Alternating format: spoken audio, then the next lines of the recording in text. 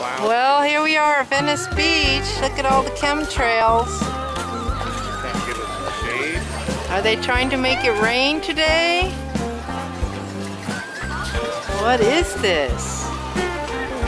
That is not normal cloud formations.